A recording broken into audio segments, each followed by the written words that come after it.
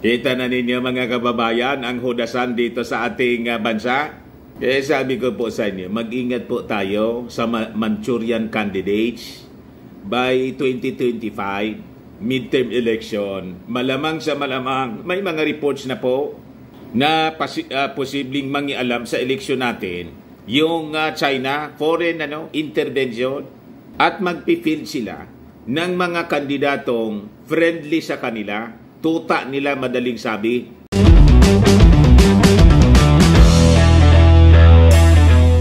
Ito naman po yung bago naming uh, product na binibenta online. iGlow Serum, whitening po siya. Tingnan ninyo yung epekto sa aking anak na architect before and now. Yung mga inquiries po ninyo, dumiretso na lang kayo sa kanyang Facebook account, Riz Maravillas. Matindi mga kababayan yung reaction ng ating Pangulong Bongbong Marcos nang uh, tanungin siya sa isang ambos interview ng uh, mga reporters tungkol sa pinasok na kabalbalan ay kabalbalan. Kabalbalan man talaga yung uh, alleged uh, secret deal, secret agreement ni Maudigs sa China, diyan sa West Philippines po, sabi ng ating Pangulong Bongbong Marcos I was horrified anya. Pag sinabi mong horrified po, total shock, shocking, yung pinasok na deal ng dating Pangulong Maudigs sa China. Yun naman talaga niya, Mr. Maravillas. Ki horror, ki barbaridad. Ayan po ang balita ngayon. Oh. Marcos horrified by alleged Duterte Sea secret deal on West Philippine Sea. Ayan po. Mga kababayan, na-interview po kani-kanina lang uh, yung ating Pangulong Bongbong Marcos. Palarga kasi siya mga kababayan papuntang ano, Amerika for the trilateral uh, summit with Biden and uh, Japanese Prime Minister Kishida. Pero busy-busy pa rin siya po. Inaayos niya yung uh, problema sa traffic congestion, mga kababayan sa Manila, oh, PBBM admin to continue pursuing mass transport system to address traffic congestion. Busy-busy siya mga kababayan sa pakikipag-usap, uh, meeting on traffic concerns. Sa mga officials po, oh, bagong Pilipinas Town Hall meeting on traffic con- concerns. Ganon ka, ano, ka kasipag ng ating Pangulo sabi diyan, binigyan din ni Pangulong Ferdinand Marcos Jr. ang kalaga ng agarang pagtugon sa mabigat na trapiko sa Metro Manila sa bagong Pilipinas Town Hall Meeting ngayong araw, ika-10 ng Abril. Pinagtuunan ni PBBM ng pansin ang epekto ng trapiko sa ekonomiya ng bansa, ang sama-samang pagpaplano ng pamalaan at ang pagpapabuti sa sistema ng pampublikong transportasyon. Nanawagan din ang Pangulo sa pag, uh, pagmatagalang hakbang para sa pagtatayo ng infrastruktura at koordinasyon ng mga kawani para sa mas maluwag na trapiko at maginhawang pagbiyahe ng mga commuter. So afterwards mga kababayan, nagkaroon ng pagkakataon na makausap siya ng mga taga mainstream media, ng mga reporters. Ayun, itinanong sa kanya yung tungkol sa alleged uh, secret deal ni Maudigs with uh, Xi Jinping. Shocking anya, sabi ng ating Pangulong Bongbong Marcos. I was horrified anya. At hindi po yung pinasok na no, pinasok na problema ni Maudigs. Sabi ng Pangulo, I am horrified at the idea that we have compromised through a secret agree- agreement the territory, sovereignty, and sovereign rights of the Philippines siya! Ganon mga kababayan na epekto ng fentanyl. Ang daming iniwan po na problema ng dating Pangulo. At uh, hanggang ngayon po, problema pa rin ang uh, ginagawa kasi yung Pangulo naging panggulo. Ginugulo po yung administrasyon ng ating Pangulong Bongbong. Sabi dito sa report ng ABS-CBN, China has been repeatedly citing the alleged deal to put the blame on the Philippines over the worsening tension in the West Philippine Sea. Marcos said he was not briefed by the officials of the former administration regarding the, the alleged agreement. We don't know anything about it, Anya. There was no documentation. There was no record. We were not briefed about when I came. When I came into office, walang nagsabi sa amin na mayroong ganong usapan. Ibinulgar po uh, ni dating spokesman Harry Roque, nilaglag yung amo niya. Kaya nga po, sumaklolo si Panilo nag-deny, wala man na ganyan. Pati mismo yung dating Pangulong Digong, wala man na niya kung pinasok na ganyan. Eh yung China, yun ang sinasabi. Nagkabukingan na mga kababayan, naglaglagan po sila. Pero sabi dito sa balita, Marcos said he would summon Chinese Ambassador Wang Xilian to explain to him the details of the alleged deal Siguro pagbalik na, paliwanag niya, sino ba ang kausap mo? Sino ba talaga? Anong pinag-agrihan nyo? Was it an official thing or personal thing? Walang record kahit saan ka uh, tumingin. So sikretong uh, ginawa lahat ito. Bakit nila ginawa? Nakapagtataka. Kaya it's not a good situation Kita na ninyo mga kababayan ang hudasan dito sa ating uh, bansa. Kaya sabi ko po sa inyo, mag-ingat po tayo sa Manchurian candidates by 2025 midterm election. Malamang sa malamang, may mga reports na po na pasi- uh, posibleng mangialam sa eleksyon natin yung uh, China foreign ano intervention at magpi-field sila ng mga kandidatong friendly sa kanila tuta nila madaling sabi, magmamanok na sila ng mga kandidato sa local and national positions. But I think mga kababayan, matagal na nilang ginagawa.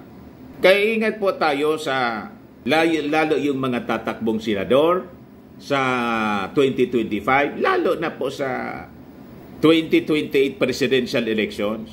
Pag uh, hindi po tayo ano, natuto, hindi ninyo pinakinggan ang ating mga warnings po sabi nga po ni uh, Ambassador uh, Babe Romualdez, US Ambassador to ano uh, sa Amerika, baka niya mawalan tayo ng ating bansa, ng sariling bansa. Seryosuin po ninyo. Kala ninyo, joke-joke lang po itong pinasok ninyo nang sinusupport ninyo mga uh, puppet ng China So ipapatawag po ng ating Pangulo yung am- ambassador ng China. The President said they have been in talks with former Duterte officials but not the former President himself. We were talking to his former officials. Ipaliwanag niyo sa amin para alam namin ang ginawa na ang ginagawa namin. Senator Risa Hontiveros has sought a Senate investigation into the alleged gentleman's agreement. She said If the deal was confirmed to be true, it would be tantamount to surrender of Philippine sovereignty. Roque recently said there was nothing secret about the deal. Ang ebidensya na sa balita lahat, lahat naman ang sinasabi na balita noong 2017 pa. So all you have to do is type China, Philippines, no new development, 27, 2017, lalabas lahat yan. Hindi na nga ako kailangang humarap dyan. Input lang nila. Google yan. Lalabas lahat yan. Anong sinasabi nilang sikreto yan? Wala namang sikreto dyan. It was an agreement to maintain status quo and it worked. Dahil mas mapayapa yung relasyon ng Pilipinas at China noong araw na yon.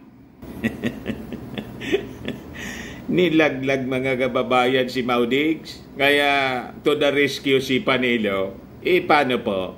Nabuko na sila mga kababayan sa kanilang mga ginawa. O ngayon, tingnan natin, pagbalik ng ating Pangulong Bongbong Marcos galing po sa Amerika, uh, mismong tatanungin na ng ating Pangulo yung uh, ambasador ng China o ito po, pakinggan ninyo yung uh, sabi rito ng ating Pangulong Bongbong Marcos. Ah. Uh, we don't know, it is a secret agreement. We don't know anything about it. There is no documentation, there is no record, there is no... We were not briefed. When I came into office, wala po lang nagsabi sa amin na meron ganong usapan. From the former administration, iba-iba ang sagot eh. Sabi ng isang official,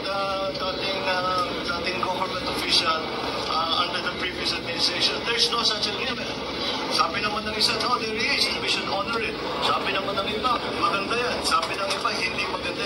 Hindi pa namin alam kung ano talaga yung agreement na yan. But, kung ay ang sinasabi sa agreement na yan na kailangan tayong magpermiso sa ibang bansa para gumalaw sa ating sariling teritoryo.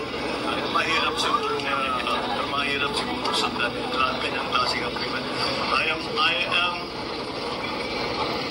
I am, horrified by the idea that we have compromised in through a secret agreement the territory, the sovereignty, and the sovereign rights of the Philippines. That there's something. We still have to clear it up. We are waiting for Ambassador Wang to come back from Beijing na Manisa and I asked to see him. Baka siguro, sa pagbalik na. Uh, ipaliwanag niya, ano ba, sino bang kausap mo? Sino ba talagang kausap mo? Anong pinag-usapan Magkakaalaman na ninyo? Was this an official thing or was it a personal thing? Ano ba ito? Dahil wala kami record. Kahit saan pa tumingin. Walang, Walang record po. Ginawa lahat ito. Bakit nila ginawa? Kung gagawin man nila, ba't ba nila ginawang sikreto?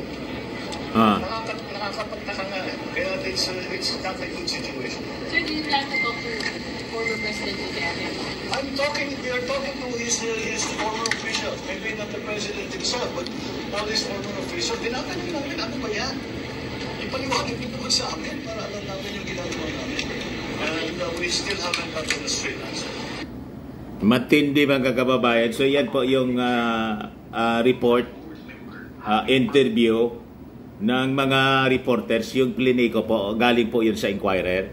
Pero maraming mga taga-media na nandoon sa mainstream, yung ABS-CBN nandun, yung Inquirer at ah, iba pang mga reporters ng mainstream media. Talagaan niya Mr. Maravillas, ki horror, ki barbaridad yung pinasok na problema ni ano, ni Maudigs. Mismo po, mga kababayan, sinubo po sa problema yung ating bansa. From Soncho Art of War po, yung ginamit ng mga strategy ng ah, dating Pangulong Digo. From Soncho Art of War to Judas Iscariote. Buti na lang po mga kababayan, mayroon tayong ah, Tigre ng Norte versus Judas ng Sur. o, di ba? O ngayon, sa mga latest development ng balita, sabi dito sa report ng ABS-CBN, US says very very uh, concerned about Chinese actions in the West Philippine Sea. Ayan po.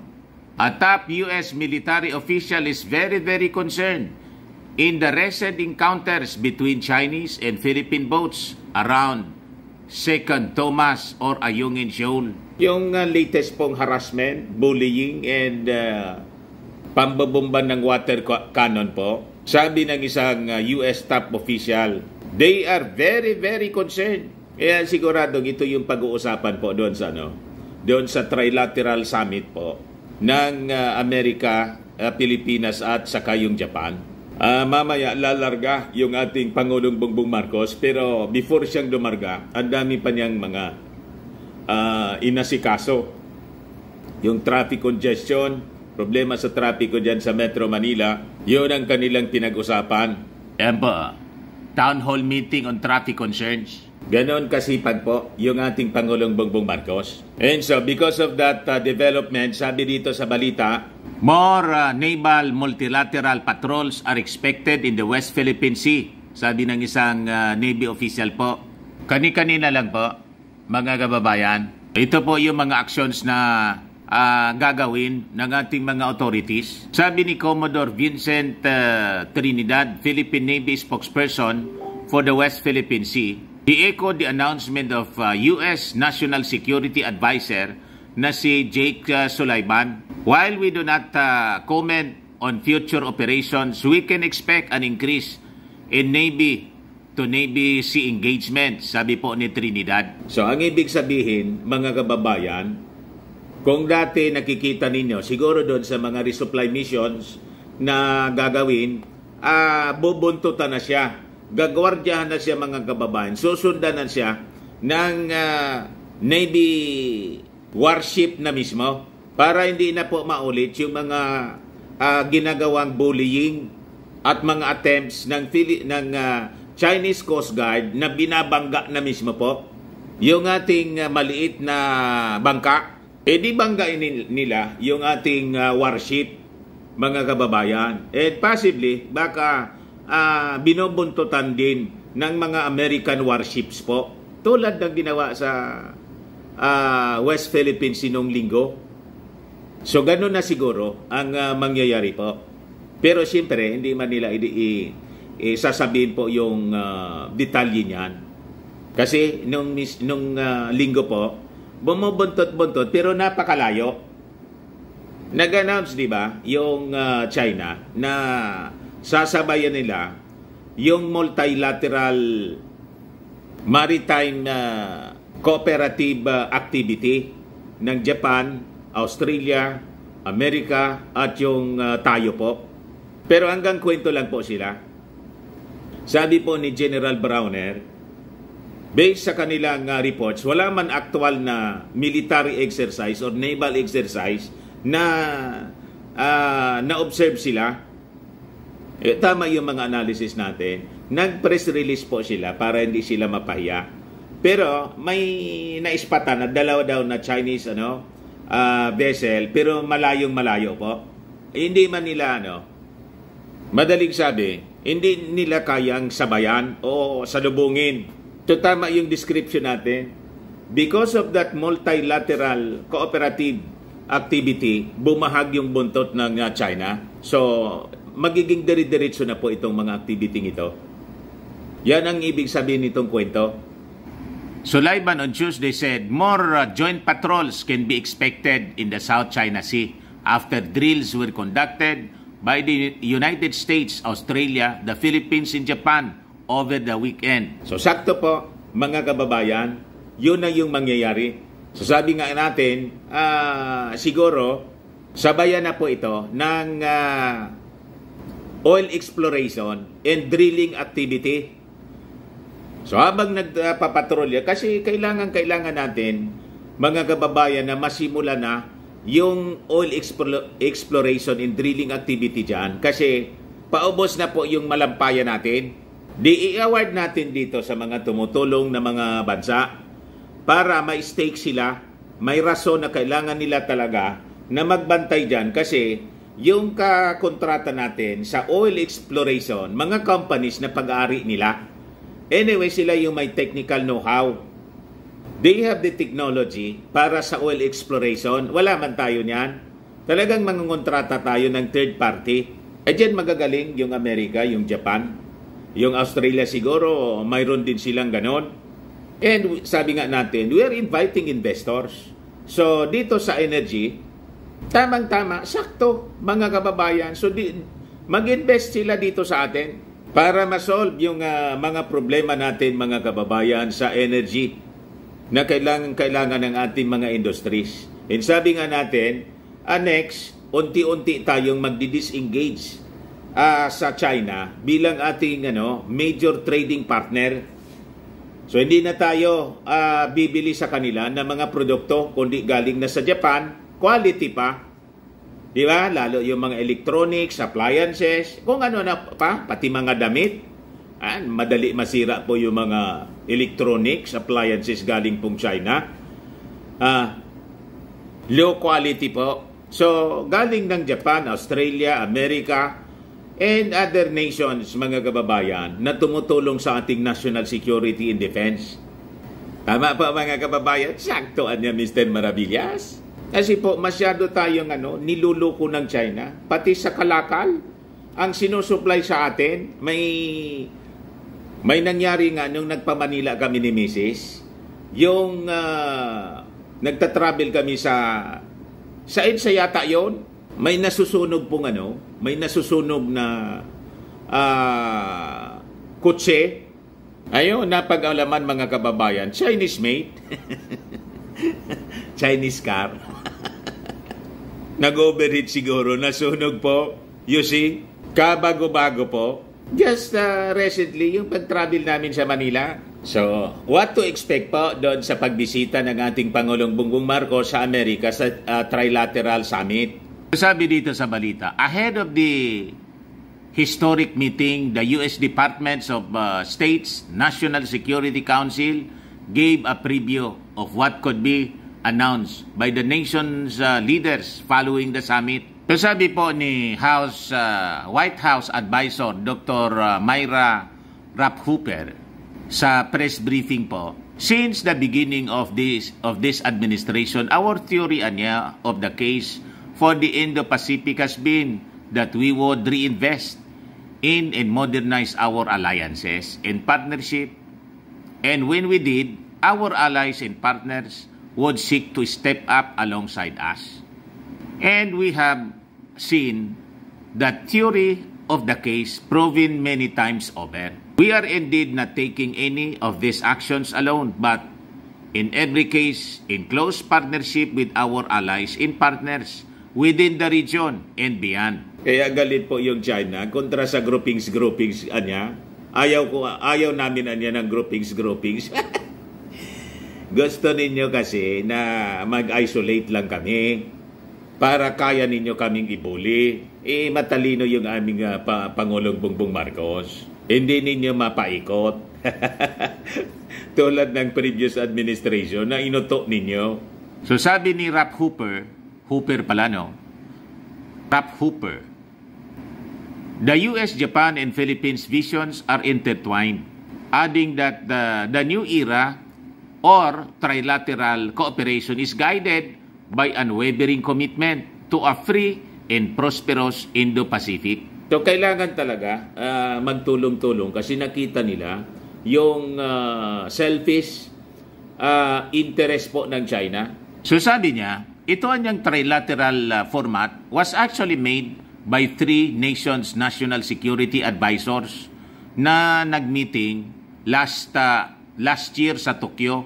And out of that uh, June 20, 2023 meeting, they identified a few critical areas of cooperation amongst the United States, Japan, and the Philippines that our leaders will be taking to new heights later this week. So as stated, below are some of what can be announced following the summit uh, set to be attended by President Bongbong Marcos uh, Jr., US uh, President Joe Biden, saka si ja- Japanese Prime Minister Fumio Kishida. So ano-ano siya?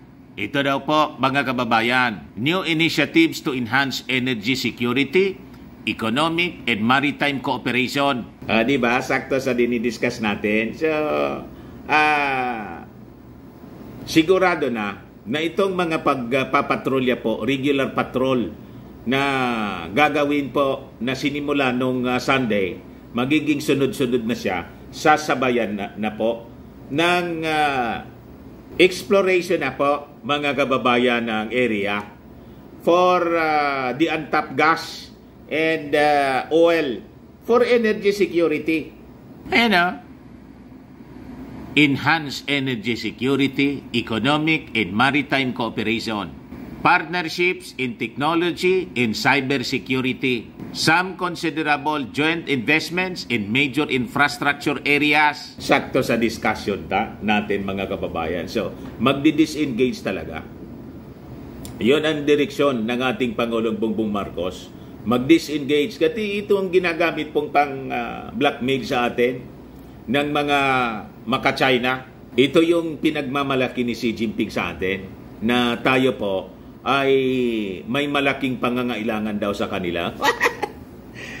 o ngayon pa, as we dis- disengage with uh, uh, China, mga kababayan, punta tayo sa Japan, America, and our uh, partners, Australia, para po sa investments, joint investments pa in major infrastructure. Siguradong kasama dito yung uh, exploration po ng uh, ah, oil and gas dyan po sa West Philippine Sea. Our three countries will embark on this uh, era of trilateral cooperation as equal pa partners guided by shared vision and unwavering commitment to a free, open, peaceful, and prosperous Indo-Pacific. Madaling sabi, magiging kasosyo natin sa lahat ng ah, negosyo. Kasosyo natin itong mga bansa, Japan at Amerika. Gutom kayo mga Chinese. ah, di ba? Hindi ninyo kami maiisahan. Yun sana yung intention po ng China. Gustong suluhin. Tapos, kasabwat po yung mga hudas sa hudas ng sur. Sila lang yung magkikinabang mga kababayan sa yaman ng West Philippine Sea. Sabi dito, ahead of the trilateral summit, Rap Hooper said Biden is set to welcome Kishida for an important official visit ngayong araw na to. During the official state visit, the two leaders are set to discuss efforts to bolster defense and security cooperation. Rap Hooper said important uh, deliv- deliverables on civil space cooperation as well as major research partnership between the US and Japan's leading institutions would also be tackled among others. Ah, di ba napakaganda ng ah, mangyayari po? Nangyayari ngayon. Kaya excited na yung ating Pangulong Bongbong Marcos. So mamaya makikita natin, ah, siyempre, yung ah, departure. Ah, malamang kasama. Kasama uli mga kababayan si Speaker Martin. Lagi man niyang kasama. Then, siyempre si First Lady. At saka yung mga ah, cabinet secretaries niya sa security cluster. Tapos, siyempre sa sa negosyo. So, abangan natin kung ah, si Inday po ay magatid po sa ating Pangulong Bongbong Marcos. Magsisend opo. Or ah, kung siya pa ang ah, iiwang ah, caretaker na sabi nga natin, nung ah, lumarga pa Germany and ah, Czech Republic, yung ating Pangulo, ang inatupag ni Inday, yung rally ni Pastor Gibbs. Doon siya pumunta. Tapos yung panawagan ng uh, nagrarally po, Marcos resign. Tingnan natin kung si pa ang iiwan bilang caretaker ng ating bansa. Dapat niya Mr. Maravillas, wag na. Baga may mangyaring masama. Alam mo na niya, magpiprayer rally na naman sila doon sa 14. sa ano sa Tagum City maisog uh, prayer rally walang kadala-dala. Ayan man lang po ang ating mga balita ngayon. Ako po si Dante Maravillas. Bye bye God bless